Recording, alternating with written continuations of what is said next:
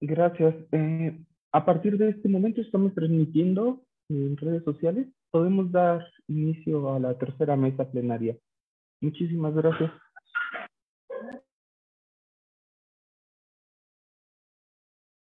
Hola, buenas tardes a todos y todas. Bienvenidos a esta mesa plenaria eh, del Seminario del Observatorio de Reformas Políticas de América Latina, una mesa que nos genera muchísimo entusiasmo. Eh, junto a Flavia Freindenberg estuvimos trabajando en la necesidad de incorporar las miradas desde los partidos políticos eh, con respecto a las, reformas necesarias para la participación política de las mujeres en igualdad. Y bueno, y ese fue el producto de esta mesa que, vamos a presentar el día de hoy, que se llama exactamente Reformas Partidistas para la Paridad, en pos de la paridad, y nos van a acompañar referentes de, partidos políticos de la región para que conversemos sobre algunas líneas específicas. Si les parece, les voy a comentar cuáles son aquellas preguntas que nos, que, nos surgen como disparadores para poder trabajar y para poder conversar con quienes nos acompañan en la mesa del día de hoy y luego ya pasar a presentarlas. Estas preguntas que nos surgen tienen que ver principalmente de pensar por qué los partidos políticos se resisten en su interior a los cambios que promueven las legislaciones electorales. Esto tiene que ver principalmente con las cuotas de cupo, las cuotas de paridad que no se trasladan a las organizaciones partidarias en su mayoría. Si es posible romper con las inercias que tienen los partidos políticos en su vida interna y cómo lidian con estas tensiones conservadoras que todavía existen en su interior. Y por último, cómo transformar los partidos para que sean más inclusivos en su interior y además también se conviertan en defensores de la paridad en cada uno de nuestros países. Para eh, contestar estas preguntas y sobre todo para dialogar con todas nosotras, eh, y nosotros, y también esperando a todos quienes nos acompañan en el Facebook del Instituto de Investigaciones Jurídicas de la Universidad Autónoma de México, para poder también encontrar sus preguntas y poder conversar entre todas. Eh, vamos a presentar quienes ya nos acompañan, a, mm, Marta Tagle, a Blanca Osuna y a Esperanza Martínez, para que nos comenten cuáles son sus visiones sobre estos temas que acabo de plantear y cuáles de ellas, eh, cuáles reformas podemos trabajar para poder lograr una paridad sustantiva en América Latina. Primero eh, voy a presentar a Marta Tagle, ella es licenciada en Ciencias Políticas y Administración Pública por la Universidad Nacional Autónoma de México, cursó el diplomado en Políticas Públicas y Género por la Facultad Latinoamericana de Ciencias Sociales, ha sido diputada federal y senadora suplente, como legisladora y activista ha trabajado por el reconocimiento, ampliación y ejercicio para los derechos humanos y por la igualdad sustantiva entre hombres y mujeres. Actualmente es consultora de género y derechos humanos, fundadora y consultora de género, la eh, de MIDI, Mujer, Ideas, Desarrollo e Investigaciones, desde el 2010 a la fecha y militante del movimiento ciudadano desde su fundación. Así que te voy a dar primero unos minutos de exposición, Marta, así podés conversar sobre estas preguntas disparadoras. Luego, obviamente, le damos la palabra a, Esperanza y a Blanca y así seguimos conversando. Todas las palabras tuyas. Muchas gracias, Dolores Gandulfo, y en especial con un agradecimiento a mi querida amiga y maestra Flavia Freidenberg por la organización de este nuevo seminario, por organizarlo cada año. La verdad sabemos quienes reconocemos que esto implica mucho trabajo y, y, le reconocemos ampliamente que genere estos espacios de encuentro y todo el equipo que está detrás de esto. Quienes organizamos eventos sabemos que esto no es sencillo y por eso es que además un reconocimiento doble para ella y todo el equipo que está detrás de la organización de este encuentro y pues también muy honrada de compartir este espacio con quienes hoy eh, están en el panel, porque me parece que el tema que nos está planteando esta mesa es un tema fundamental para el reconocimiento pleno de los derechos políticos de las mujeres. En lo que se tiene que hacer con los partidos políticos. Me parece que la reforma pendiente, lo que sigue, el paso que hay que dar, justamente tiene que dirigir su mirada hacia los partidos políticos el, gran tema que tenemos y, ante las preguntas que nos están haciendo para iniciar este diálogo es por qué los partidos se resisten al cumplimiento de estas medidas, primero o en varios países de la región como, como medidas de acción afirmativa, o en el caso de México, que ya es un principio constitucional para cumplir con la paridad, ¿por qué se resisten? Pues al final de cuentas, porque me parece que la principal resistencia, pues que tiene que ver con que eh, los partidos políticos, entre otras cosas, están administrando el poder, ¿no? Y eh, están acostumbrados o hay un pacto o hay un sistema patriarcal basado en un pacto entre los hombres de cómo distribuirse el poder. Ellos han desarrollado a lo largo de la historia un lenguaje común, una forma de acordar, de transar entre ellos, en los cuales en su mentalidad no tiene cabida las mujeres. Y digamos que han venido haciendo algunas concesiones, y digo concesiones con todas las comillas posibles, porque en realidad ha sido una larga lucha de las mujeres por reconocimiento de los derechos de las mujeres, pero sin dejar de perder el control. Es decir, han dejado que pasen las em, medidas afirmativas, particularmente en los congresos, y ahora la paridad también en los congresos, pero sin perder el control. ¿A, qué me refiero? En, en, el caso de México, y sucede en varios países de nuestra región, los partidos políticos son los que tienen en sus manos la definición de eh, no solamente de las candidaturas, es decir, en ese sentido ellos tienen que definir quiénes cumplen con la disciplina partidista y quiénes no, y por lo tanto tienen ese control de definir eh, quién va a ir a la boleta y ya en segundo lugar le corresponde a la ciudadanía definir si ese es el candidato gana, o candidato ganador.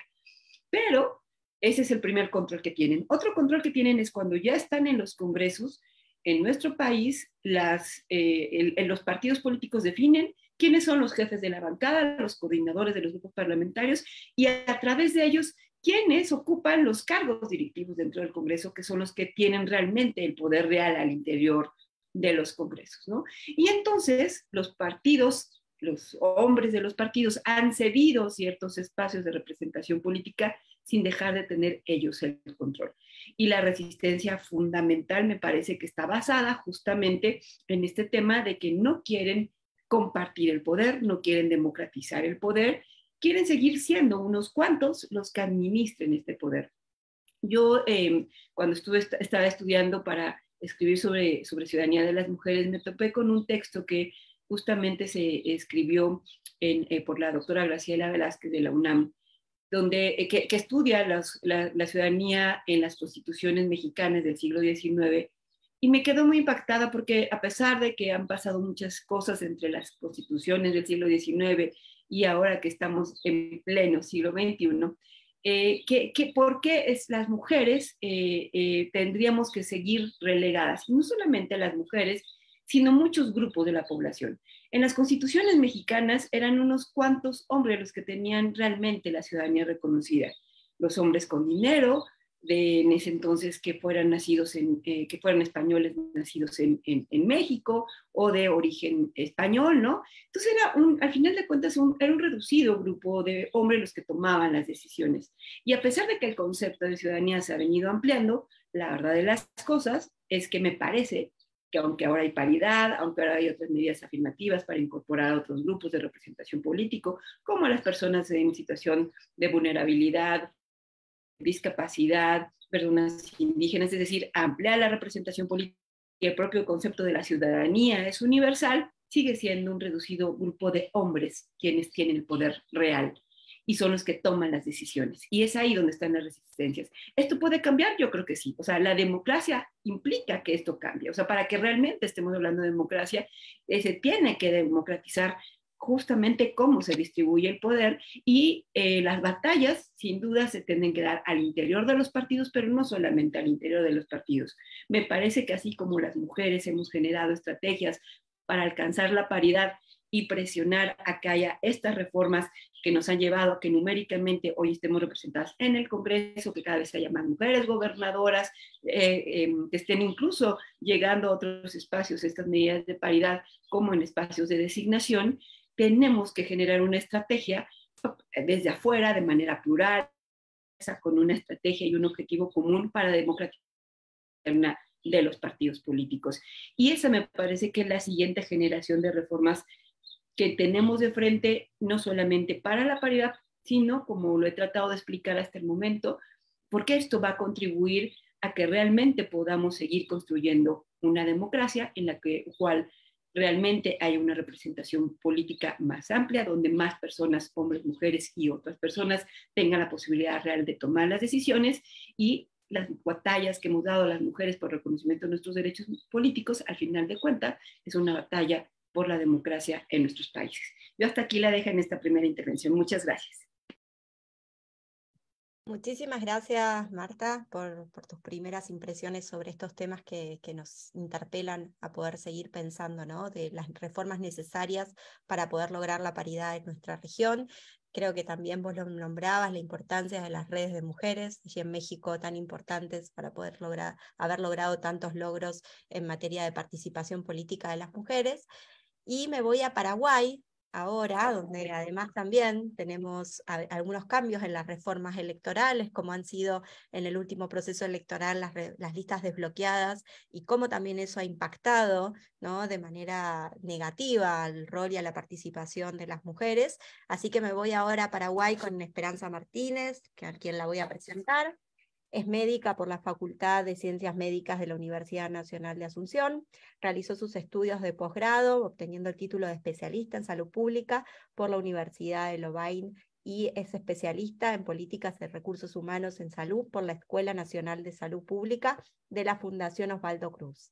Fue ministra de Salud Pública y Bienestar Social y presidenta del Consejo Directivo de la Organización Panamericana de la Salud y vicepresidenta de la 65 Asamblea de la Organización Mundial de la Salud. Actualmente es senadora por la concertación Frente Guazú y presidenta de ese organismo. Así que, Esperanza, te doy ya tus más o menos siete minutitos para arrancar esta primera tanda de conversación. Muchas gracias, Dolores. Muy buenas tardes, buenas noches, porque estamos creo que en horarios diferentes un cálido saludo y un abrazo especial a las compañeras que hoy me acompañan en el panel, así como a todo el equipo organizador. Mis felicitaciones por este evento y muy agradecida y honrada de estar compartiendo algunas ideas con ustedes. Yo quería tomar como dos de las preguntas. La primera que decía, por qué los partidos políticos se resisten en su interna eh, a, digamos, aceptar los cambios legislativos. Y en segundo lugar, quisiera aportar eh, algunos de los puntos que a mí me parecen importantes eh, a ser enfocados para seguir avanzando en este tema, para lograr, no sé si vamos a llegar, como decía la pregunta, a hacer una, un, gran liderazgo y hacer gladiadores de la paridad, pero sí que podemos avanzar en mejoras sustantivas. Y con respecto al primer punto, yo quería compartir con ustedes dos láminas y hacer la siguiente reflexión. Si pensamos en la República con los derechos hoy a la ciudadanía del voto y de la elección universal, eh, que comenzaron allá por la Revolución Francesa en 1789 a la fecha, hoy más o menos 200, 230 años de ese proceso.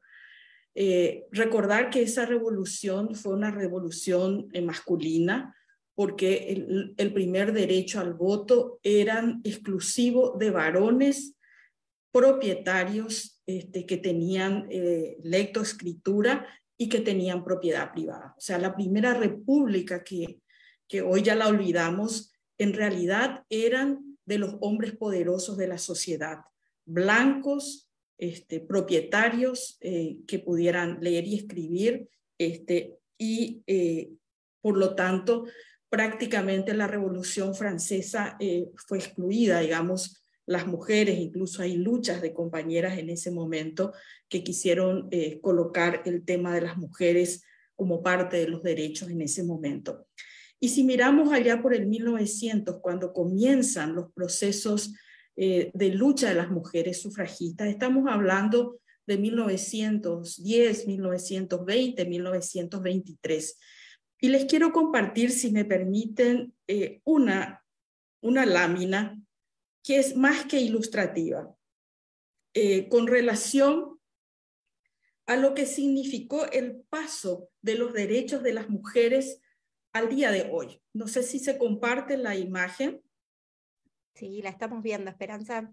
Bueno, este, este es un contrato que rescatamos. Mi, mi, mi hija le gusta mucho la docencia.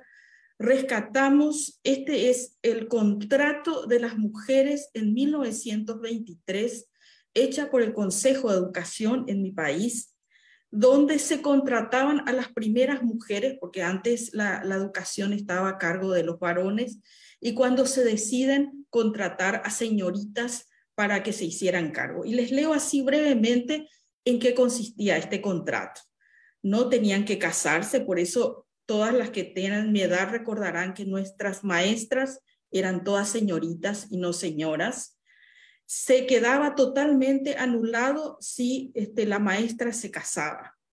No andar en compañía de hombres, estar en su casa desde las 8 de la tarde a las 6 de la mañana, a menos que tengan que atender funciones escolares, no pasearse por heladerías del centro de la ciudad, no abandonar la ciudad bajo ningún concepto sin permiso del presidente del Consejo de Delegados, no fumar, queda automáticamente anulado. Si se fuma, no bebe cerveza, vino, whisky, se anula el contrato, no viajar en coche o automóvil con ningún hombre excepto su hermano o su padre, no vestir ropas de color brillantes, no teñirse el pelo, usar dos enaguas, no usar vestidos que queden a, más de 5 centímetros por encima de los tobillos. Y después las tareas de cuidado, limpiar el aula, barrer, fregar, etcétera, etcétera. Y les paso la siguiente lámina y con eso cierro este punto. Esta es la foto en 1900 de las alumnas de la escuela normal. Estas son las alumnas eh, para la escuela de profesores de la escuela normal en 1900 en Paraguay. Si miramos estas mujeres del 1900 al 2020, 2022, este, evidentemente la evolución con ese contrato a la vida que hoy tenemos muchas de las mujeres, por lo menos occidentalmente, ha sido vertiginoso, los cambios han sido vertiginosos. Y es por eso tan fuerte el tema de la cultura patriarcal, que más allá de que incluso tenemos compañeros y compañeras con una visión más progresista, los que estamos en partidos progresistas, en partidos de izquierda, sin embargo, el machismo sigue siendo tan fuerte porque apenas nuestras madres, nuestras abuelas tenían estos códigos sociales que eran muy fuertes y que marcaban la vida. Por lo tanto, eh, ese proceso de cambio cultural va a continuar indudablemente y cada vez de manera más acelerada, pero quería colocar esto porque nos ilustra muy claramente una mujer del 2022 a una mujer de 1923. Con respecto al segundo punto, ¿de qué podemos hacer? Y yo coloqué cinco temas que a mí me parecen importantes para avanzar este, desde el punto de vista de los partidos políticos y de, la, este, de, la, de la práctica política de las mujeres. La primera, a mi criterio, tiene que ver con mecanismos normativos. Indudablemente la ley de cuotas y la ley de paridad este, han tenido un proceso de avance extraordinario. Lastimosamente no todos los países todavía lo cuentan, pero han ayudado a acelerar el proceso de la inclusión y el respeto de las compañeras en las listas y por lo tanto una posibilidad de mayor acceso finalmente a la participación política en las listas finales.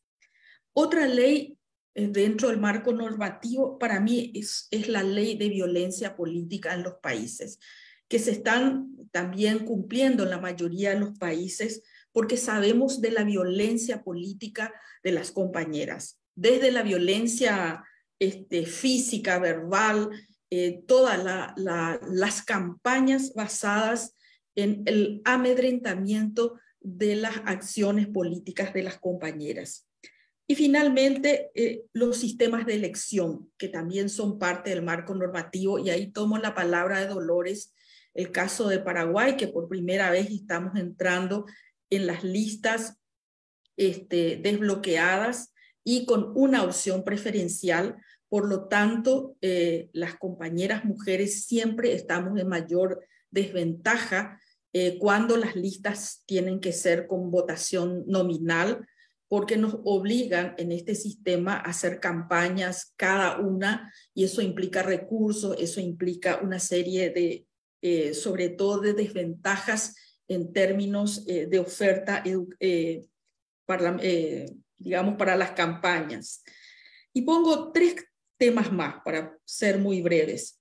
El tema de, capacitación y financiamiento político en la ley de paridad que se trató en Paraguay, pero que no logramos, no logramos los votos necesarios, colocábamos unas medidas de acción positiva, por ejemplo, dentro de los aportes a los partidos en el concepto de capacitación, que eso se ha dividido 50% para el sector, digamos, eh, eh, de las mujeres y el sector este, masculino y que se pudiera eh, diferenciar ese financiamiento de los partidos políticos, así como también la posibilidad de dar un 0,5% del jornal mínimo eh, por cada voto de, de, mujeres electas, de tal manera a que sea un incentivo para los partidos tener a mujeres en su lista y sobre todo mujeres que puedan llegar a ser electas, porque eso significaría un aporte adicional a los partidos políticos como una medida también especial de carácter temporal, pero que ayude a eh, instalar la medida de, este, eh, de paridad. Y las últimas dos menciones, el tema de, de las redes de mujeres políticas y la agenda interparlamentaria de mujeres políticas. Y termino con esto. En el caso de Paraguay, para, para instalar la ley de paridad política, nosotros hicimos lo que se llama y se sigue llamando el Grupo Impulsor de la Paridad, que tuvo la característica de juntar a las mujeres políticas de todos los partidos que tienen representación parlamentaria y fuimos las impulsoras y somos las impulsoras de manera interpartidaria para instalar esta ley y crear una agenda que hemos recorrido casi 14 departamentos, más de 5.000 eventos en casi 4 o 5 años, generando espacios de discusión sobre la ley donde estamos mujeres políticas muy diversas, pero con la misma agenda. Y esa misma red de asociatividad, no solo parlamentaria, al interior este, de, las, de las redes de mujeres políticas que también tengan una agenda sobre violencia política, sobre paridad, sobre financiamiento, etc. Entonces, yo quería colocar esos elementos que a nuestro criterio y a nuestra experiencia han sido importantes. en este momento en Paraguay, eh, un gran sector de la oposición, cerca de 40 partidos y movimientos, están agrupados en una gran concertación nacional este, que va a pugnar en el 2023 este, para las elecciones nacionales, eh, en el caso de la chapa presidencial, eh, que va a ser apoyada por esto. Y este conjunto de 40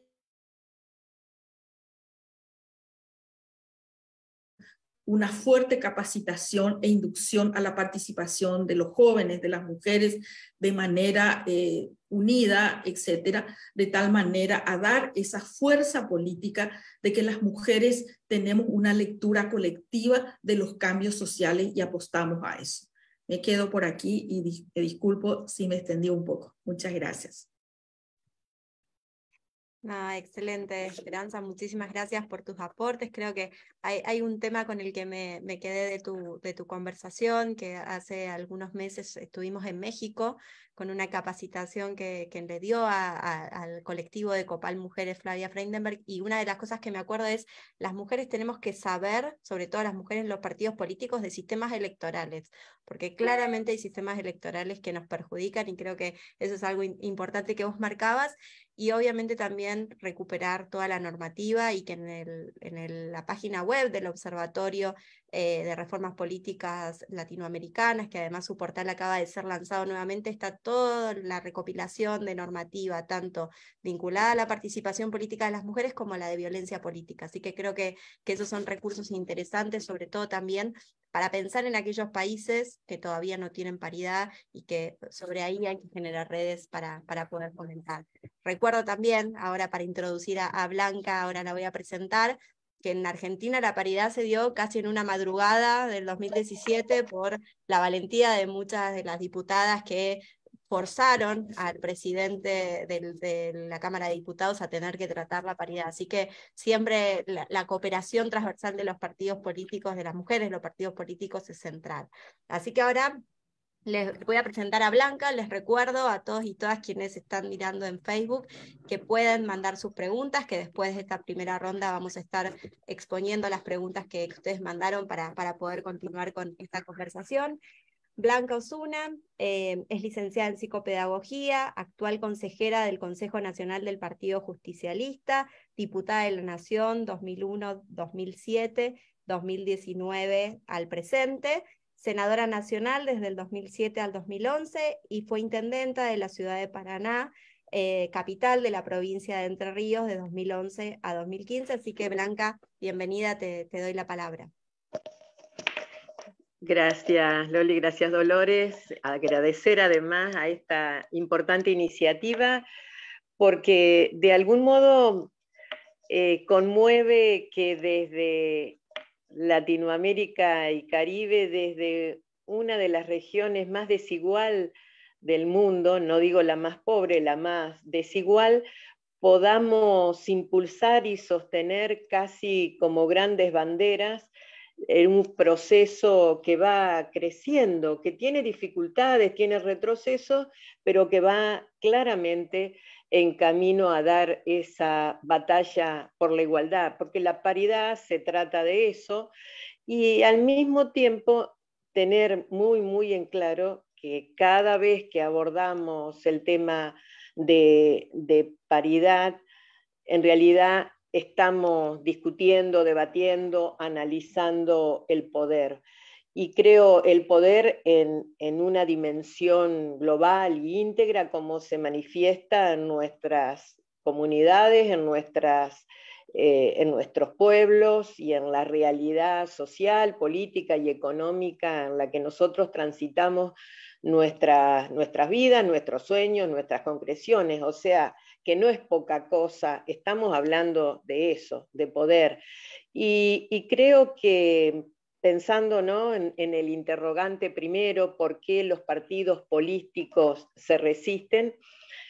Entiendo que la, dominancia y, el, fervor, la vocación que eh, dentro de los partidos políticos claramente eh, tienen varones y hacen que haya un desplazamiento, una tensión continua y que eso traiga consecuencias lógicas, eh, va de suyo que tiene que ver con esa, con esa disputa por el poder. En la Argentina, eh, la, ley de, de, paridad, que es a la que hacías referencia recién, y que efectivamente casi sobre la Nochebuena del 2017 pudo ser aprobada, dispone de cuestiones importantes, de algún modo corona una genealogía que arranca en el 47 con la ley del voto femenino y que tiene distintas instancias donde las cuotas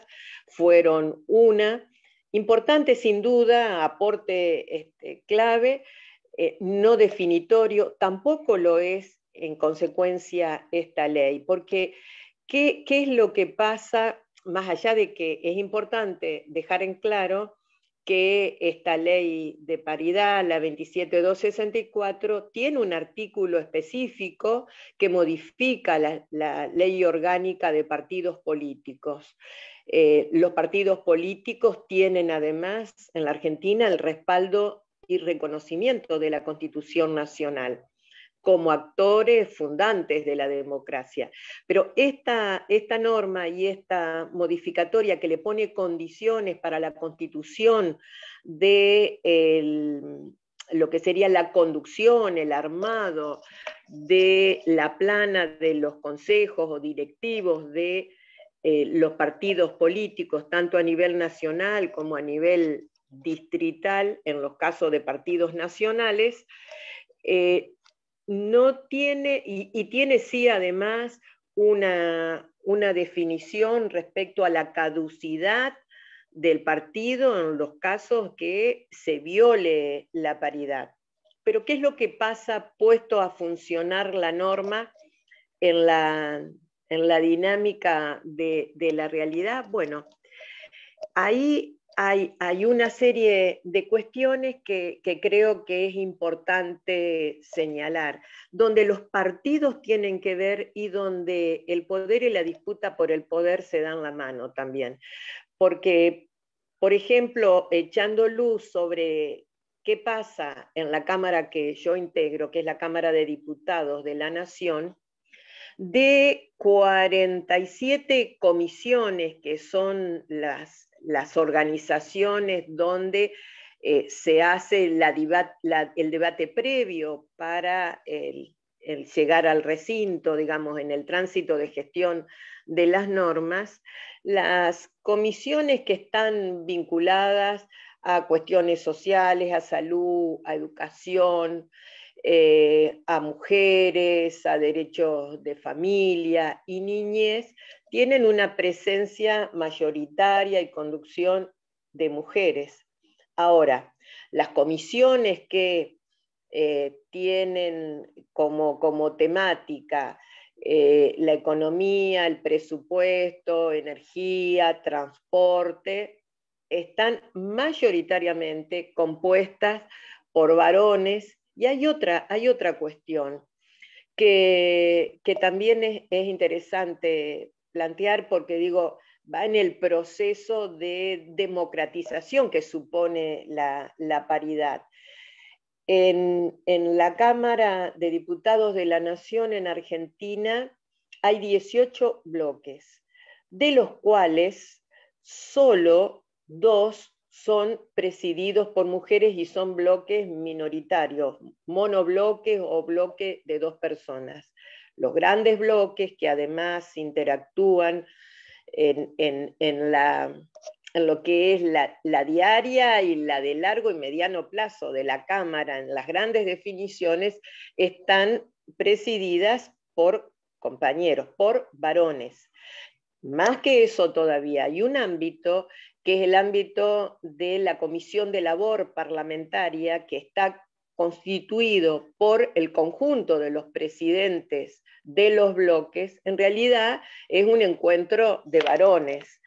Y sí que tenemos avances porque por primera vez la Cámara de Diputados es precedida por una mujer ante la renuncia de Sergio Massa, que ahora se desempeña como ministro de Economía pero en realidad creo que, falta mucho por andar y que en realidad el, tema de, la modificatoria que, que la ley de paridad introduce dentro de la orgánica de partidos políticos, nada dice respecto a reglas de funcionamiento interno, a la estructura, a la cultura, a las estrategias, que son cuestiones que vale la pena registrar como condiciones que tienen alto impacto. No sé cómo estoy con el tiempo, pero bueno, hasta acá llego. Yo creo que hay mucho por hacer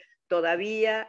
Este, hay una deuda pendiente, pero indudablemente está bueno también reivindicar los pasos y los avances que vamos dando. Excelente, Blanca, muchísimas gracias por, esta primera ronda. Ahora lo que voy a hacer es, tomando algunas de las preguntas que llegaron del público de Facebook, las voy a direccionar para una, para, voy a ir direccionando para que vayan contestando cada una. Primero vamos a tener la pregunta que hizo David para Esperanza, que tiene que ver principalmente con la siguiente. ¿no será que se ha concentrado demasiado en el esfuerzo de la capacitación a los partidos políticos en el empoderamiento de las mujeres, cuando también lo que se necesita es obligarlos a capacitar a los varones en la masculinidad de la igualdad de género, construir armonía y no confrontación? Esperanza, te cedo la palabra. Sí, indudablemente es una tarea el tema de este, incluir a los compañeros en todos los procesos de capacitación. Eh, y creo que esa es la nueva mirada. Lo que hay que comprender, y por eso colocaba esta, estas dos láminas, tratando de demostrar el corto tiempo. En el caso de, mi país, de Paraguay, recién en la década del 60, en 1961, las mujeres tuvimos el derecho al voto, al sufragio. O sea, estamos hablando de 60 años de vida política. Algunos eh, empezaron en la década del 40, del 30, pero estamos hablando de un tiempo muy pequeño de ejercicio real de las mujeres de eh, su, su, ciudadanía política, derecho a participar en la política, derecho a votar, derecho a ser elegida.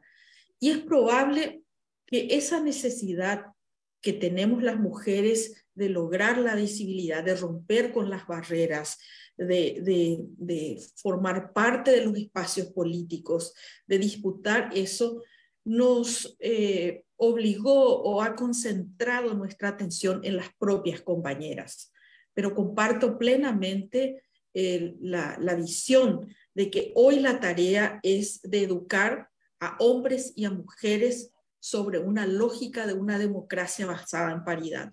Porque las, las que defendemos la paridad hoy ya no hablamos de cuotas y no creemos que, la, que, la, que el 50% de participación de mujeres es una cuota del 50%, sino que hablamos de la calidad de la democracia, donde como representación de dos sectores mayoritarios de la población, hombres y mujeres, deben juntos participar, hacerse responsables, en este caso, del Estado, este, de gobernar y, digamos, de contribuir a la construcción de la sociedad. Esa es una tarea pendiente y me parece súper interesante el aporte de David y lo comparto. Muchas gracias. Muchas gracias, Esperanza. Ahora dos, dos preguntitas para, para Marta. Eh, por un lado, Víctor plantea cómo hacer para pasar de la, de la famosa política de la presencia, de que las mujeres estén gracias a las cuotas y a las normativas de paridad, a que efectivamente esta participación sea sustantiva y, que participen en, en, lugares de decisión. Y al mismo tiempo también, Augusto nos pregunta cómo se hace para que esa toma de decisión de las mujeres sea más fuerte en el Congreso de México. Muchísimas gracias a ambos que preguntan. Eh, Flavia sabe que una frase que he repetido en varias ocasiones y que justo corresponde a lo que están preguntando los dos es que requerimos más mujeres en el poder, de eso se trata la paridad, pero mujeres en el poder con poder. ¿Y para qué quieren las mujeres ese poder? Para transformar la vida de otras mujeres. O sea, eh, y se tiene que cumplir con toda esta fórmula porque de otra manera me parece que la paridad no estará cumpliendo con su objetivo, que eh, de acuerdo a lo que decía también Esperanza, es justamente generar igualdad sustantiva. O sea, no, no es simple y sencillamente que haya más mujeres por el mero número, sino de transformar las realidades en las que las mujeres estamos viviendo. Y eh, digamos que vamos en la primera parte de la fórmula, por lo menos en el caso de México, más mujeres en el poder. ¿Por qué? Porque hoy en día la Cámara de Diputados mexicana, el Congreso de 500 legisladores, está integrado por 251 mujeres y 249 hombres, ¿no? La primera vez en la historia en la que, en lo que esto sucede. El Senado de la República tiene prácticamente la mitad, 63 de 128. Y en todos los congresos eh, subnacionales se ha alcanzado esta representación paritaria, en varios de ellos con una representación mayor de las mujeres.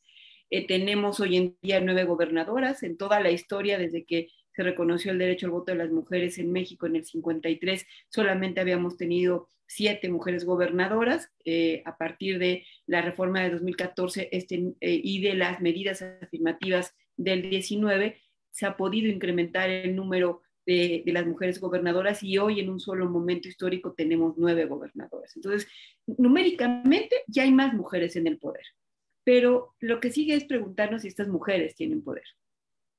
Y lo que estamos viendo es que a pesar de que, por ejemplo, en la legislatura pasada, durante dos años consecutivos, las mujeres presidieron la Cámara, la cámara de Diputados, ¿no? Eh, si esto significó o se, o se constituía en más poder para las mujeres. Y quiero poner como ejemplo ante la pregunta concreta que hacen de, cómo, las mujeres, cómo se puede realmente conseguir más poder para las mujeres.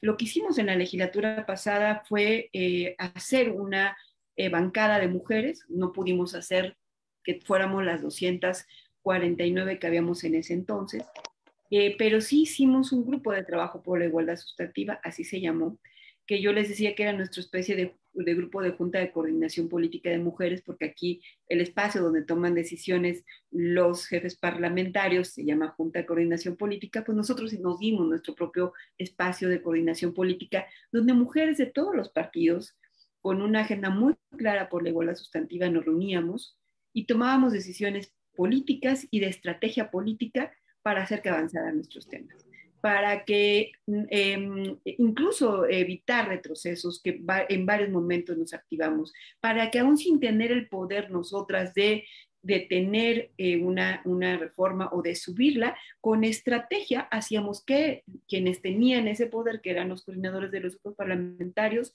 lo hicieran, porque todas presionábamos en el mismo sentido. Entonces, la, respuesta concreta es cómo le hacemos para obtener más poder, necesitamos unidas. O sea, las mujeres nos tenemos que dar cuenta que la paridad no va a funcionar si no la hacemos valer. O sea, al final de cuentas, las decisiones se toman por mayoría. Hoy en día las mujeres en el Congreso mexicano tendrían la posibilidad de aprobar cualquier reforma porque somos la mitad más o menos pero nos tenemos que dar cuenta del poder político que tenemos y eso implica vernos como un grupo que está trabajando y es ahí donde entra la tercera parte de la fórmula.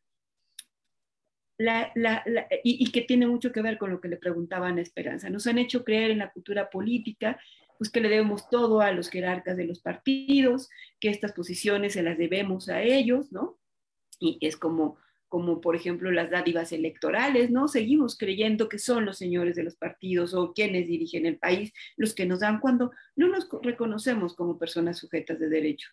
Y estos derechos de los que hoy gozamos, estas mujeres que estamos ocupando espacios de decisiones públicas, que estamos en la Cámara, en los gobiernos locales, esos derechos los hemos conseguido gracias a la lucha de muchas mujeres antes que nosotras. Luego entonces nuestro principal compromiso no es con esos hombres que nos dieron la candidatura, que, y lo digo entre comillas porque siempre se cree que nos dieron la candidatura cuando es nuestro derecho, un derecho reconocido, sabernos que estamos en la política por derecho propio y que ese derecho se lo demos a la lucha de muchas mujeres y no necesitamos trabajar unidas, fuertes, con estrategia para hacer que avancen los temas. De otra manera, si nos quedamos cada quien en nuestro propio grupo de nuestro partido político, va a ser muy difícil que podamos seguir avanzando en esta agenda, que adquiramos el poder que se requiere. Y déjenme decirles nada más como último ejemplo para eh, poder dar paso a mis demás compañeras de panel y a otras preguntas, es que tampoco se requiere que seamos la mitad más uno, porque luego nos, nos frustramos diciendo, es que es, son tantas mujeres y, no es posible que ahora que hay más mujeres no se estén logrando las cosas. Poner como ejemplo lo que sucedió en el 2014. En el 2014, después de una sentencia histórica en México, eh, por primera vez en la historia entraron al Senado de la República, que es la Cámara Alta en, México, aquí tenemos un sistema bicameral, se, em, llegaron por primera vez más de un tercio de senadoras. Y cuando hablo de más de un tercio, era un poquitito más, era 33.8% de las senadoras. Y no éramos la mayoría, ¿no? Estaba muy lejos de ser la mayoría, pero ese tercio sí se requería para las reformas calificadas. Todas las reformas a la Constitución en México requieren de dos terceras partes. Las mujeres teníamos un tercio e hicimos valer ese tercio.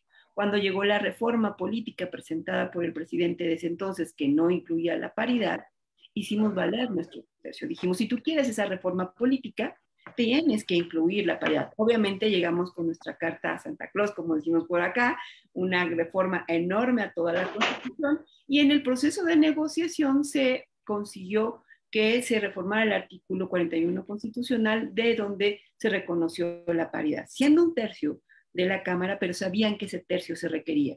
Y sabíamos además, yo en ese momento no estaba como senadora titular, pero ese grupo de senadoras estaba muy acompañado por grupos plurales de mujeres afuera, por mujeres que están en los espacios de decisiones públicas jurisdiccionales y del Instituto Electoral, cuerpeando el trabajo que ellas estaban haciendo, contribuyendo con información, echando porras, de todo, para que se lograra esa reforma que en 2014 nos llevó a reconocer la paridad a nivel constitucional en México. Es decir, la unión hace la fuerza y me parece que esa es la mejor manera de que las mujeres adquiramos el poder que nos toca, empoderarnos. Y como dijera Simón de Beauvoir, requiere de un, el empoderamiento no solamente es individual, sino también colectivo. Nos requerimos unidas para poder adquirir, recuperar el poder que nos corresponde para poder transformar la vida de las mujeres.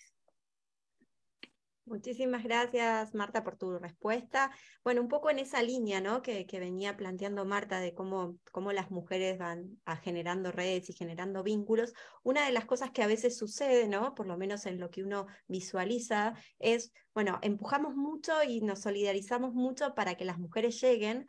Ahora pareciera que muchas de esas mujeres cuando llegan no tienen la misma cantidad de acompañamiento de recursos para poder ejercer su poder, ¿no? Entonces, creo que eso es bien importante y está ligado a la pregunta que le hacía Erika a, Blanca, sobre todo por, obviamente, su rol al haber estado al frente de una intendencia, ¿no? de un gobierno local, con todo lo que eso implica desde la gestión, es cómo pasamos, ¿no? por un lado, cómo, cómo uno puede llevar adelante una gestión, digamos, eh, siendo mujer en, un municipio, y al mismo tiempo también cómo pasamos de lo que es la mera paridad y la nueva participación en el ámbito legislativo ya a lo que son los ámbitos ejecutivos. Así que, Blanca, eh, comentanos tu, experiencia. Por una parte, a ver, creo que sin duda uno se plantea cuál es el anclaje de la paridad o cuál es el anclaje de esta democracia paritaria, de esta igualdad por la que vamos. Y ahí eh, yo creo que por una parte están los consensos políticos, que es toda una búsqueda, eh, recién quienes me antecedieron hacían una referencia bien puntual a ello, a la construcción de consensos, que un camino puede ser justamente la unidad de las mujeres en ámbitos de representación.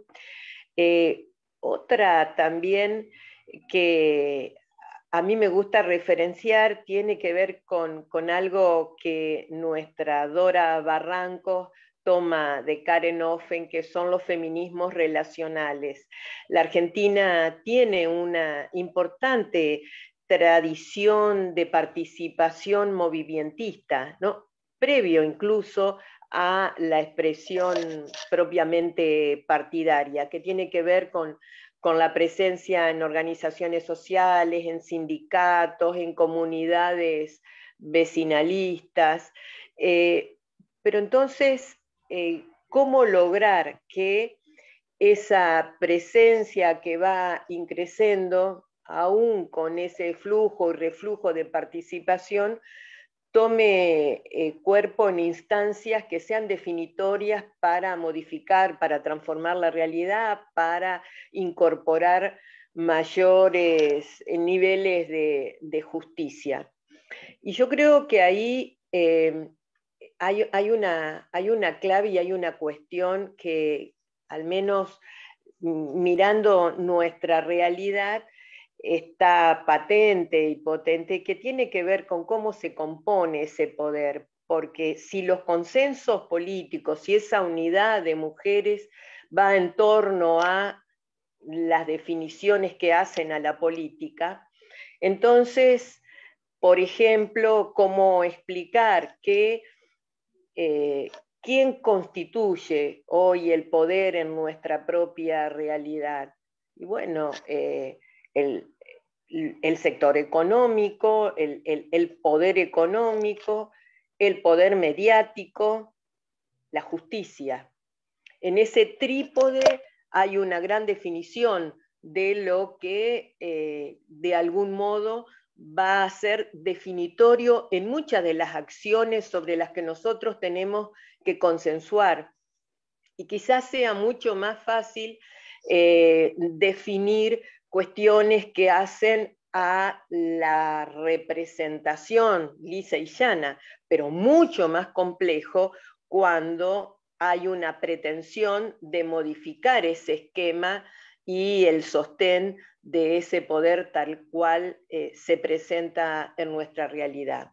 La verdad que nosotros en América Latina tenemos eh, experiencias, por ejemplo la de Dilma en Brasil o ahora actualmente la de nuestra vicepresidenta Cristina Kirchner, que en camino a eh, ser una referencia que interpela a ese poder en su plena constitución, da como, como deriva eh, acciones de gravísima violencia, de extrema violencia, a punto de un atentado que, que ha sido público y que seguramente quienes comparten esta noche este encuentro o esta tarde este encuentro tienen noticia de ello.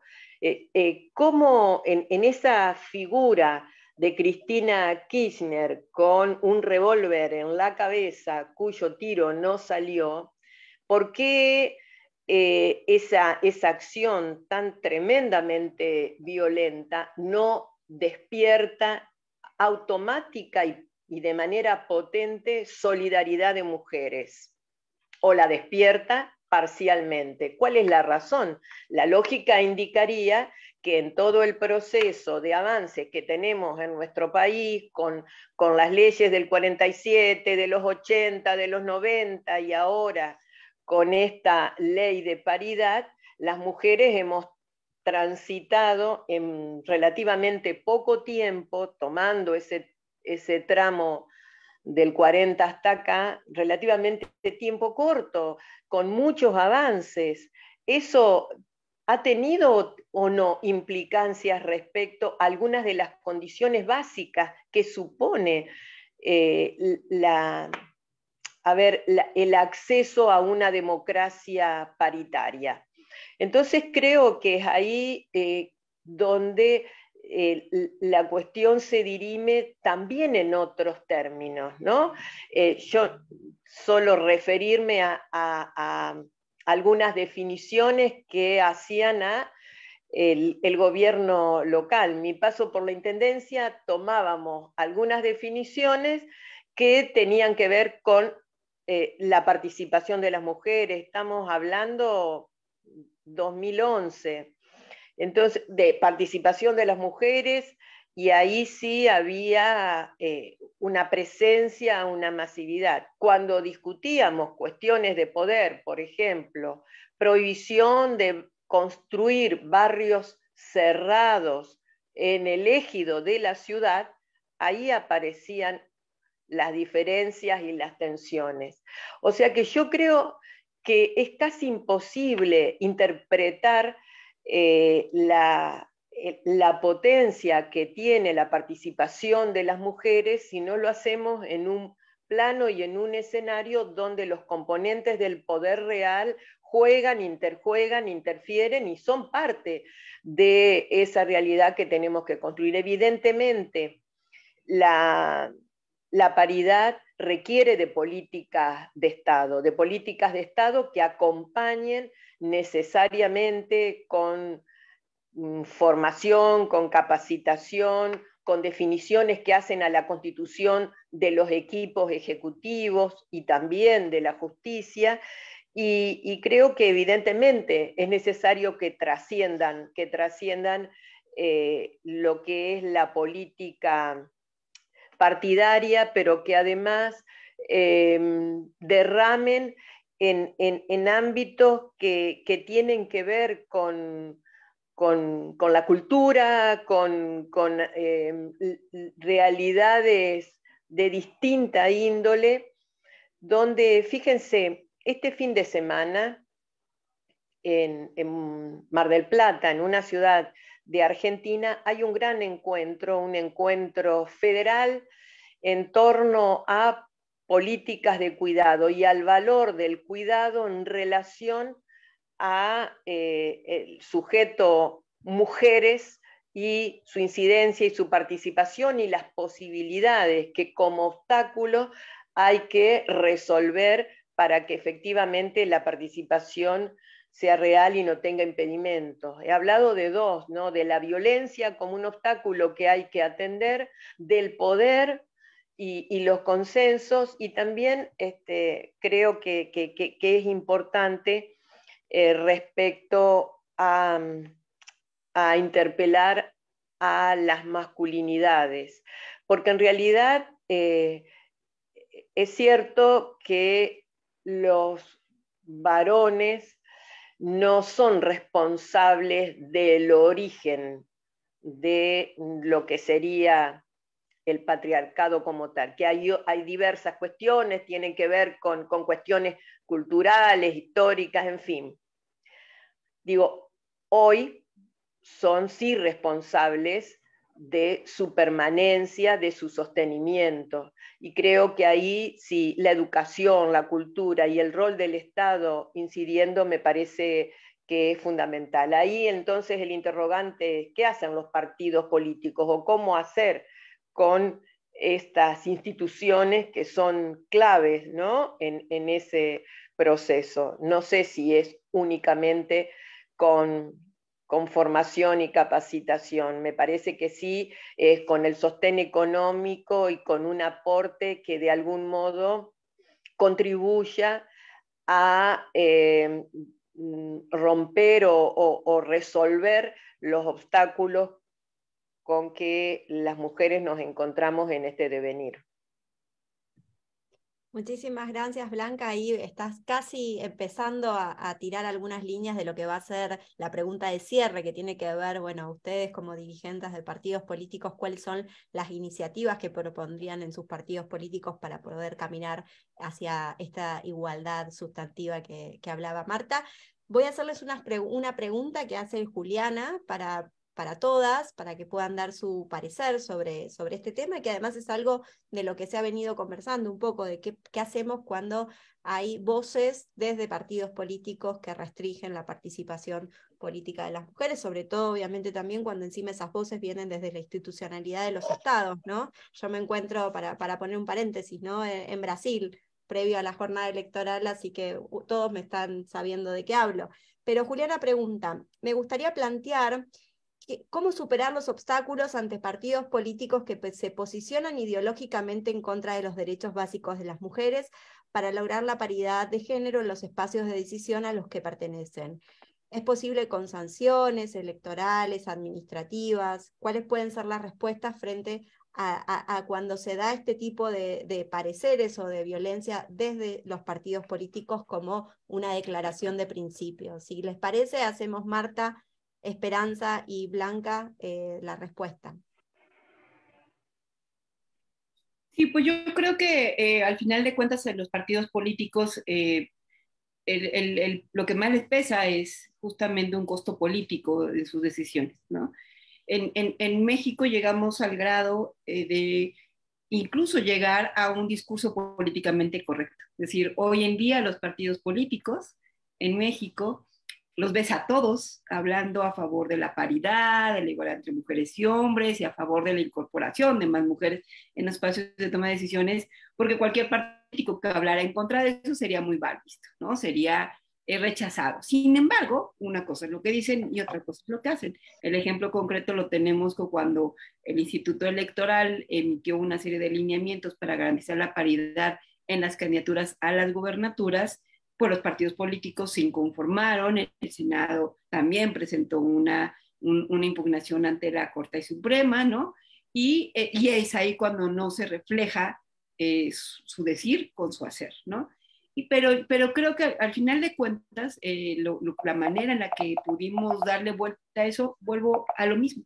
Logramos las mujeres hacer una gran presión, las mujeres de todos los partidos, evidenciar el tema políticamente y las alianzas que hemos construido nos han ayudado a que en, las instituciones electorales, en los órganos jurisdiccionales como es el Tribunal Electoral, se tomaran decisiones a favor de eh, el avance en los derechos políticos de las mujeres y que estas decisiones que están tomando desde estos espacios como el Instituto Electoral y el Tribunal Electoral vayan acompañadas por estos grupos de mujeres muy plurales, muy diversos que están acompañando estas posiciones. Es decir, tenemos que generar sin duda una legislación que permita eh, que, se, que se sancione, pero también construir estas alianzas donde los actores eh, que estén tomando decisiones también sean aliados de las causas y que construyan junto con las mujeres que estamos en los partidos políticos la posibilidad de generar sanciones, jurisprudencia que nos permitan seguir avanzando. Por lo menos en el caso de México,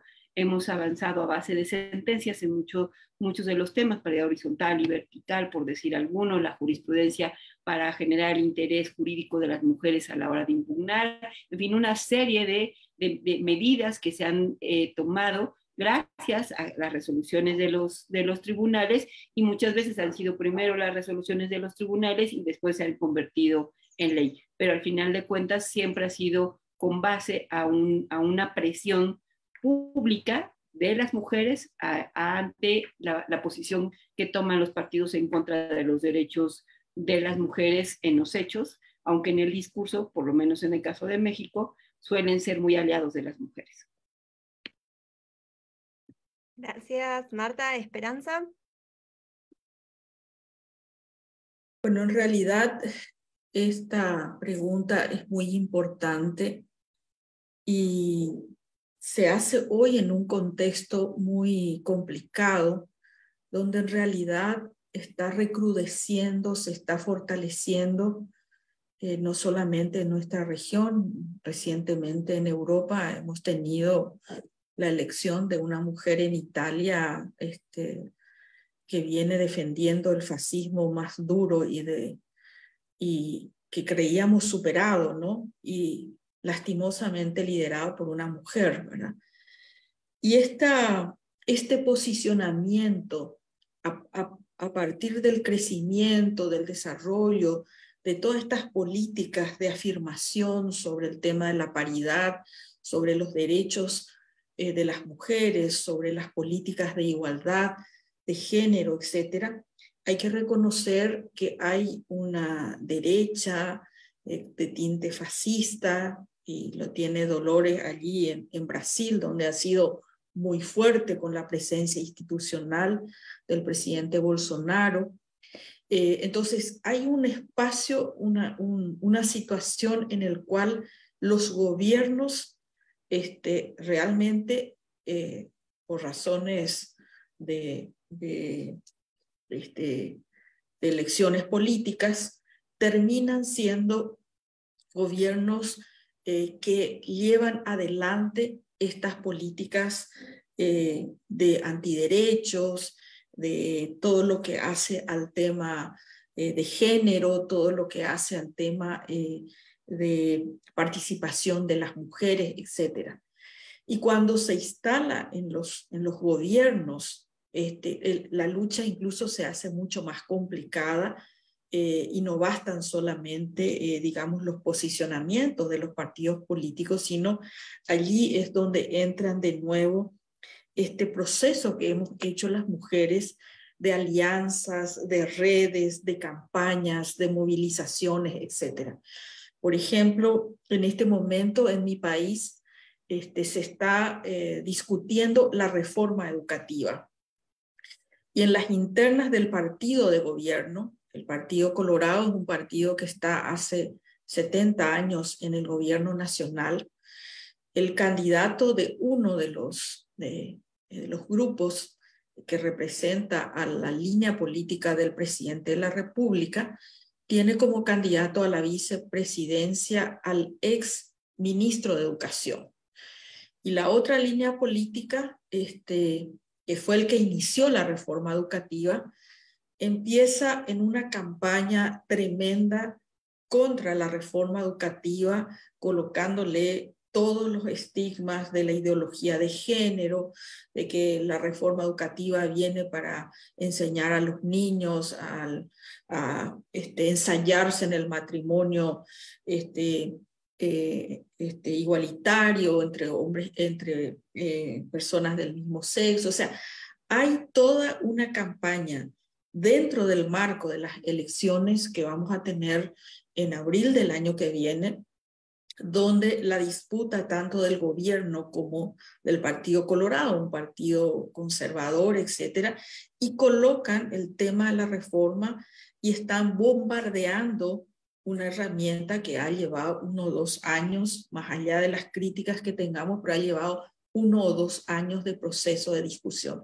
Entonces, cuando esto se instala desde los gobiernos y desde las campañas de partidos políticos, eh, evidentemente su impacto en la sociedad y en la construcción de una cultura autoritaria, de una cultura de intolerancia, de una cultura este, de, de odio, de persecución, se instala. Y eso se está viendo en Argentina, eso se vio en Brasil, eso hoy se está viendo en Paraguay, no en las mismas dimensiones, pero sí en ese sentido. Y por otro lado, este, a veces eh, el tema eh, no cuantificado, pero cada vez tiene un peso más importante, es el uso de las redes sociales, el uso de los fake news, el uso este, de, digamos, de la comunicación a través eh, de, de, los diferentes medios eh, hoy de comunicación este, por informática, donde en realidad es una lluvia este, de campañas de todo tipo, sin ningún tipo de control y que realmente este, van exacerbando y polarizando a la sociedad sobre temas eh, de este tipo, ¿verdad? Entonces, aborto contra aborto, eh, matrimonio gay contra eh, matrimonio gay. Comenzamos con las vacunas, antivacunas, hay COVID, no hay COVID, o sea, todo se polariza en términos de una controversia que es este, irreductible, que es de un extremo sin matices y que entretiene a la sociedad este, y lo coloca como los problemas más importantes por supuesto, a mi criterio, eh, haciendo que la sociedad en realidad eh, evite aquellas discusiones de fondo, de transformaciones políticas, sociales, económicas, que son las realidades de nuestros países. Entonces estamos más preocupados por si le vamos a enseñar a los niños cómo es un casamiento, este, eh, cómo se hace el matrimonio gay a los cinco años, se instalan esos absurdos como si fuera que alguna reforma educativa hoy en América Latina pone énfasis en una cosa como esa. En cambio, este, no hablamos de la pobreza, no hablamos de la desigualdad, no hablamos este, eh, de las condiciones, eh, digamos, de, de desigualdad en términos de tierra, en términos de trabajo, en términos de educación, en términos, ¿qué es lo que le sucede a, a, las personas todos los días? Esas que se levantan muy temprano para ir a trabajar, para, para este, llevar el sustento a su familia, sus necesidades más importantes de ser resueltas son colocadas este, de lado para instalar estos falsos debates eh, que polarizan a la, sociedad, a la sociedad y en tiempos electorales es una máquina poderosa este, para deconstruir avances que ya se han hecho en las sociedades. Y bueno, y venimos este, sobre las conspiraciones mundiales, sobre el plan 2030, etcétera, una serie de cosas que realmente eh, terminan eh, en este momento produciendo mucho daño sobre los avances que se han tenido. Entonces, yo no tengo muchas respuestas para este tema. Está sucediendo en la mayoría de las sociedades latinoamericanas, pero también está sucediendo en Europa y cada vez más el, debate, digamos, progresista versus el debate conservador, autoritario, fascista, de intolerancia, de odio, comienza a permear en la sociedad. Y no estamos hablando de grupos aislados, sino que al contrario, estamos hablando de un balance dentro de la sociedad sobre estas posturas eh, casi opuestas, pero que hoy están en amplio debate eh, en nuestros países. De modo que, y yo no, no le veo otro camino que digamos de nuevo el tema de la organización de las mujeres y las redes de solidaridad, etcétera. Hoy eh, firmábamos con compañeras este, de, eh, de, Ecuador, ¿verdad? Donde hubo un feminicidio, donde una persona eh, cree que hay toda una situación de impunidad y cómo varias legisladoras y compañeras latinoamericanas este, contribuíamos de alguna manera para, para interpelar de alguna manera eh, a las autoridades nacionales en la búsqueda de soluciones. Y eso nos pasa en nuestros países. A veces hay compañeras que, que, son, eh, que tienen eh, acoso, que, tienen, que son víctimas de violencia, etcétera, donde la justicia, que también defiende casi siempre al agresor o tiene ojos preferentes hacia el agresor, este, a veces son las redes de mujeres rodeando los juzgados, las redes de mujeres golpeando en las calles, las que terminan eh, produciendo eh, cambios eh, en favor de la justicia hacia las mujeres, ¿verdad? Entonces, no tengo muchas respuestas, pero sí tengo una gran preocupación sobre este tema. Lo institucional, lo que viene del gobierno y lo que vienen este, de sectores de derecha y de sectores de iglesias, de partidos políticos y de incluso ONGs, digamos, que están en esta línea, que trabajan en una articulación para establecer una agenda eh, muy eh, de mucho retroceso y, muy preocupante por las consignas, sobre todo de violencia, de odio y de polarización. Gracias. Gracias, Esperanza. Bueno, Blanca, te dejo para tu respuesta. Bien, tremendo, tremendo lo que acabamos de escuchar, porque creo que forma parte del escenario donde tenemos que ir construyendo esta, esta igualdad paritaria o esta democracia paritaria. Eh, yo anteriormente hice una, una, pregunta que no fue solo retórica, sino que, que está planteada en la búsqueda de, abrir un camino en este escenario que, también se acaba de describir y que de algún modo implica a, Latinoamérica y al mundo, con matices, lógicamente, pero creo que ahí hay, hay dos cuestiones que, por una parte, atañen a los partidos políticos y fundamentalmente a, los estados. Cuando planteamos que un camino es políticas de Estado para sostener las conquistas que nuestros pueblos se han ido logrando, eh, ahí eh, es fundamental, eh, es clave que eso se manifieste y se materialice en cuestiones que hacen no solamente a la organización del Estado y a la representación de áreas, estoy pensando particularmente en las áreas ejecutivas, que son las que tienen las responsabilidades de llevar adelante las políticas, en este caso, como recién se planteaba, bueno, de educación o de políticas sanitarias o de políticas de intervención en barrios populares, por ejemplo, pero creo que esa, esa presencia del Estado en el desarrollo de esas políticas de algún modo debe abrir camino para que efectivamente se logren los consensos políticos sobre una agenda que es la que como desafío mayor tenemos que definir, porque si no, está bien, la, coyuntura, la situación, el contexto es complicado. Ahora, ¿estamos mm, de algún modo satisfecha de que hay un camino recorrido, que es insuficiente, que es incompleto, que falta un montón, pero que hay logros? ¿Cómo, cómo llegamos a esos logros? Y a esos logros llegamos justamente con consensos de la política.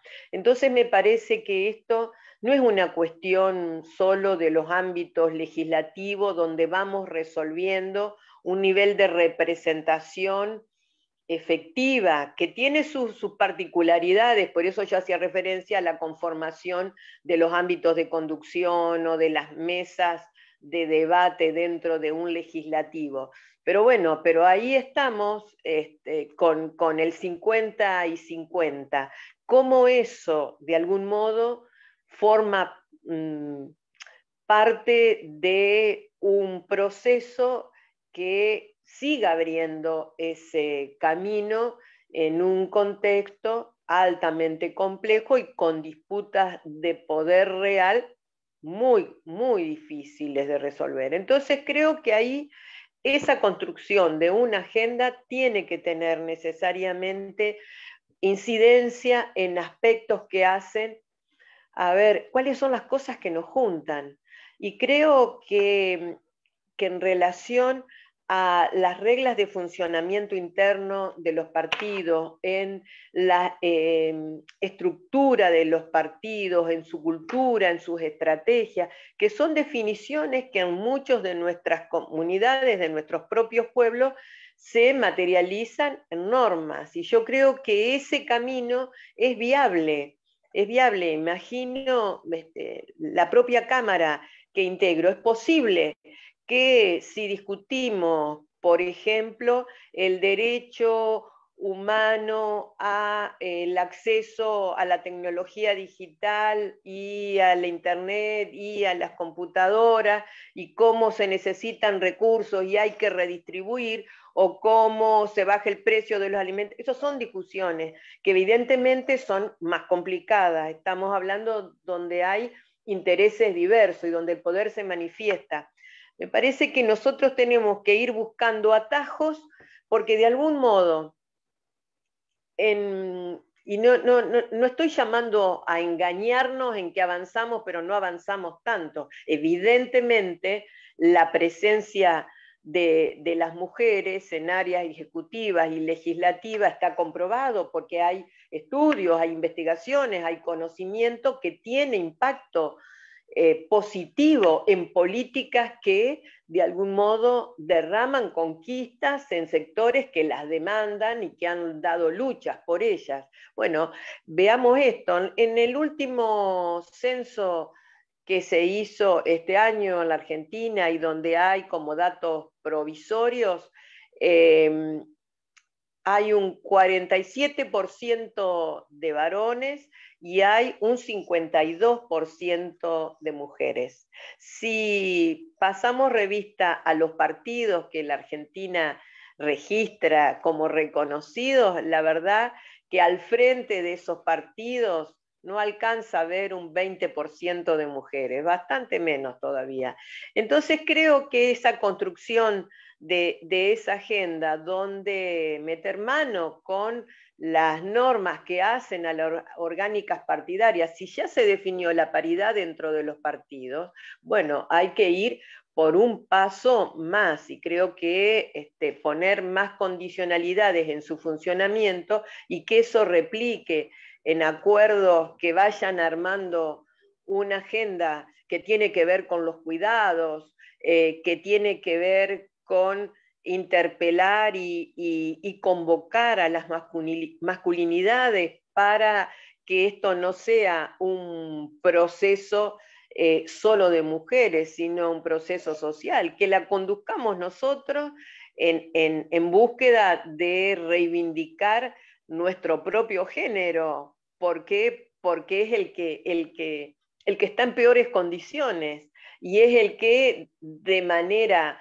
eh, de dar esas batallas o en la manera en que de esas batallas, en la manera que logre conquistas, seguramente va a aportar a una, a una sociedad mejor. ¿no? Yo creo, revisando la composición del Ejecutivo Nacional o de los ejecutivos provinciales, hay muchísimas cosas todavía para hacer creo que, en ese marco también este, forma parte de, agendas pendientes, ¿no? La composición de los equipos ejecutivos eh, paritarios. Este, no hay una norma, es parte de la voluntad de quien conduce esos ejecutivos. Ahora, vemos que, en eso este, hay, hay mucho por hacer todavía y eso me animo a decir que serían debates a los que estarían llamadas y se sentirían convocadas mujeres más allá de su posicionamiento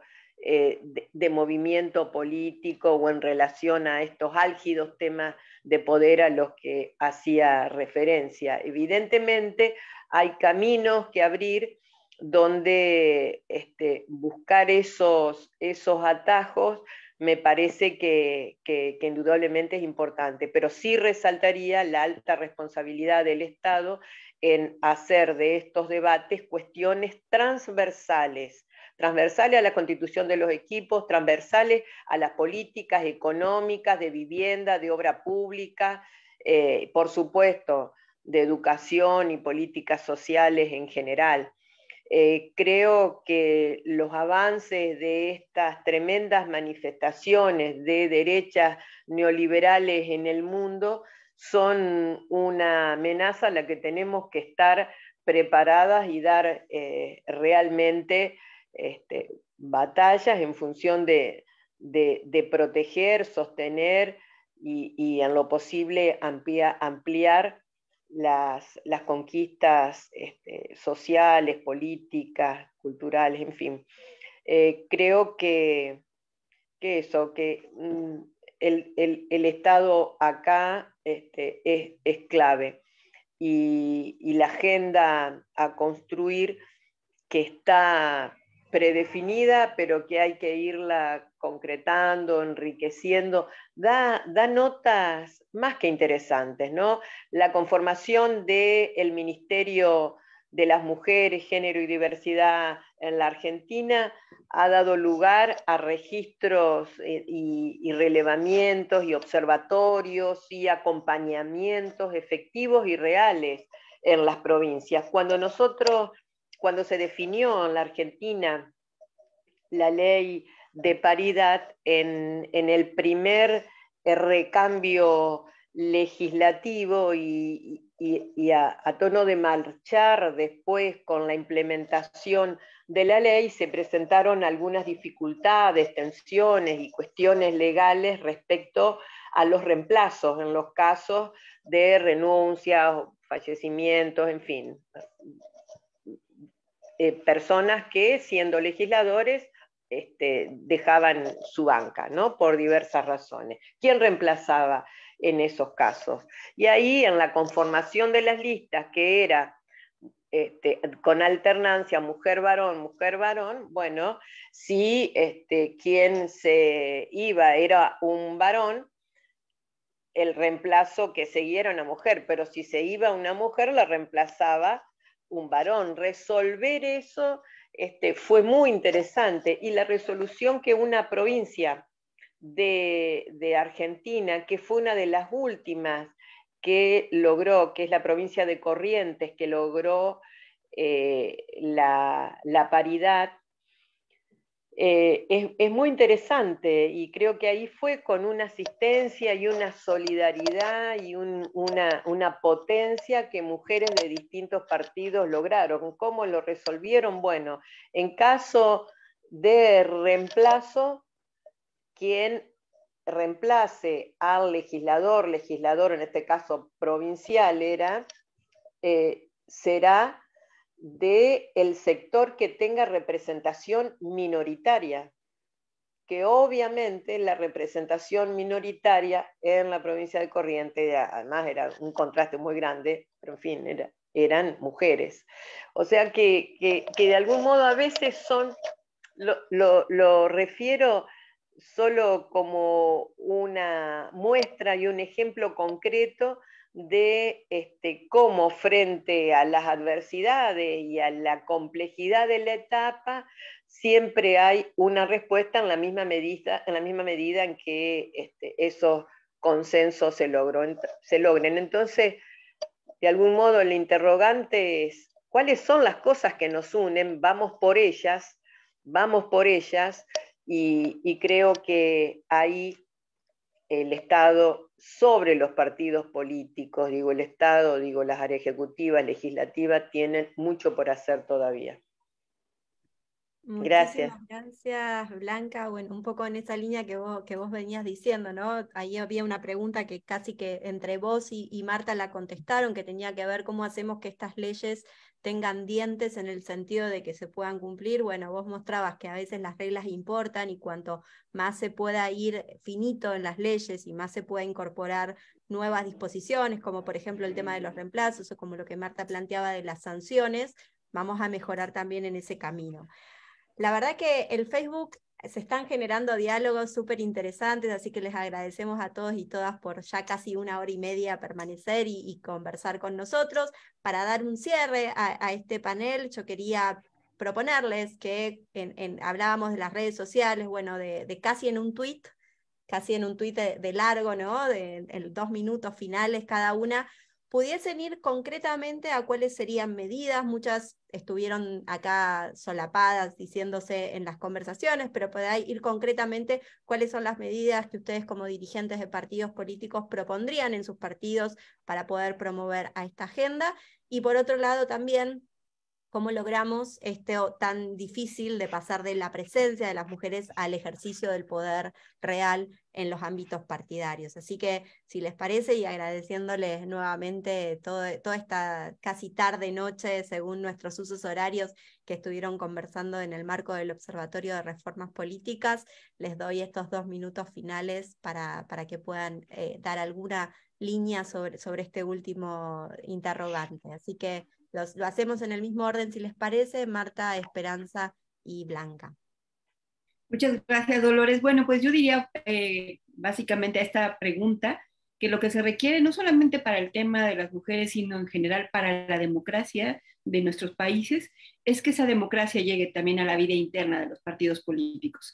Se hablaba de los retos que tenemos frente a la derecha, pero también tenemos esos retos frente a los populismos de izquierda que también afectan los derechos de las mujeres y de muchas otras personas de la población. Entonces, me parece que el gran tema, el, gran tema de la democracia o los que le siguen debiendo a este eh, eh, paso hacia la democracia, esta transición a la democracia, siguen siendo los partidos políticos.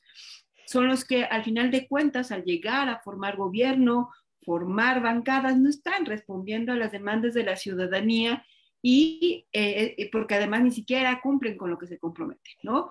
O toman otras medidas que no necesariamente son las que está reclamando la ciudadanía, que la vía de representación política sigue siendo a través de los partidos políticos, pero estos partidos políticos siguen tomando decisiones con bases a intereses de grupo y no como entidades de interés público que tienen que responder a esa representación política, rendir cuentas.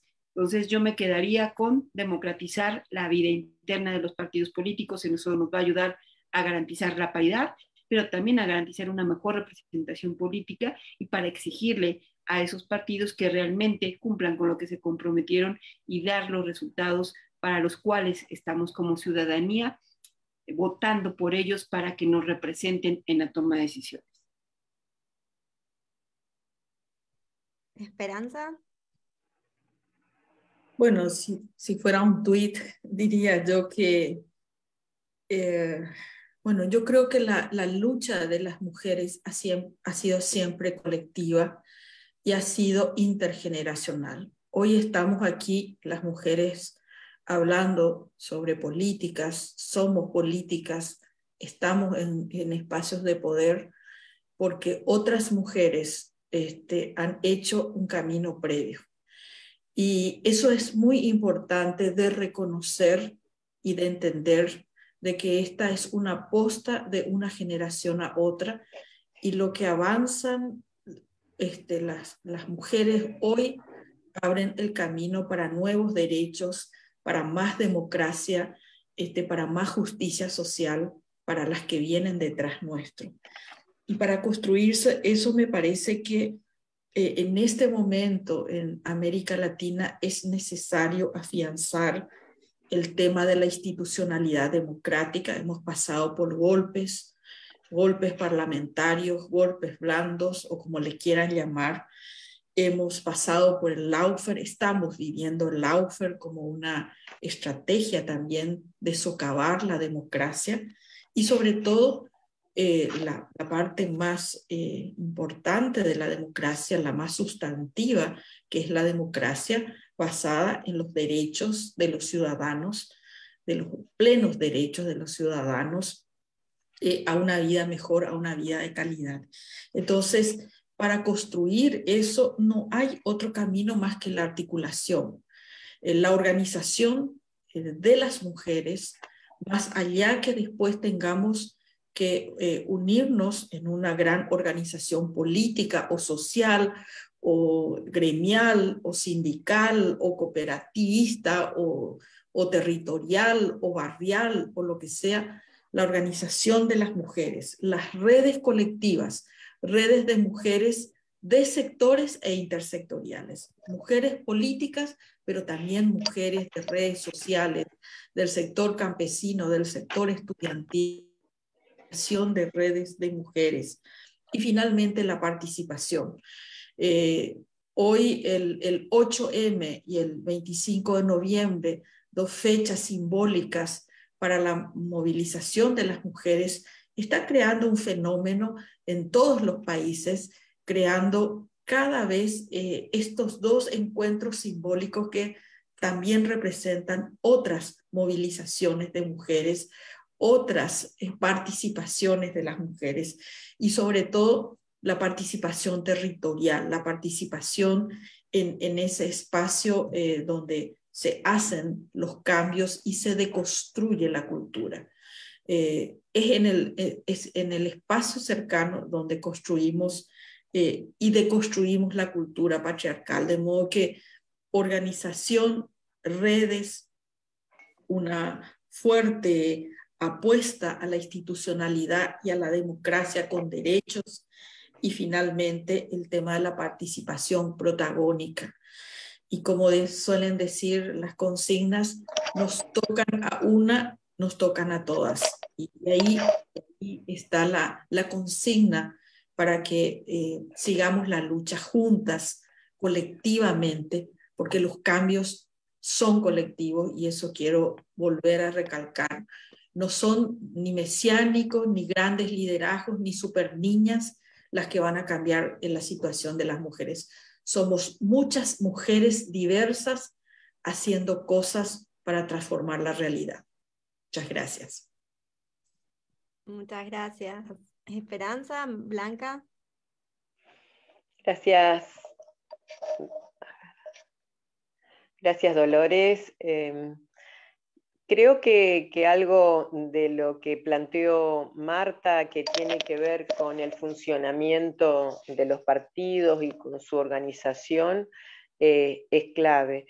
Me parece que además eso requiere de, acciones afirmativas complementarias muy, potentes, donde el tema de, la doble discriminación, en, su condición o nuestra condición de mujeres, sumado a ello las discriminaciones por etnia, por color, creo que, son cuestiones que hay que abordar. Y sobre todas las cosas, eh, políticas permanentes contra la violencia. Creo que la violencia en, su diversidad de manifestaciones y en particular la violencia política que, que debe trabajarse en busca de eliminar obstáculos en la competencia y en el ejercicio del poder. Me parece que en esto hay, hay mucho para hacer y, además em, que en mi condición de educadora, digo, también, este, insisto, el Estado tiene mucho para hacer en, en, dentro de los propios sistemas educativos y como políticas más amplias, ¿no?